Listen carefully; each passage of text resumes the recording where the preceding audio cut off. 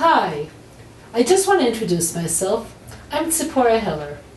I'm a teacher in Neve Yerushalayim College for Women in Jerusalem.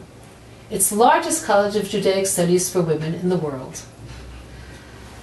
What I'm here to tell you about in my visit to Australia is gleaned of the wisdom of the Torah that speak to us that speaks to us continually but how to build ourselves through building homes how to avoid all of the pitfalls that could make home into something that's the opposite of what it should be abuse lack of true emotional intimacy lack of vision a jewish home is characterized by the presence of intimacy of vision of clarity and of respect in the classes that we'll be learning, we'll be talking about how to achieve these and to avoid their opposite.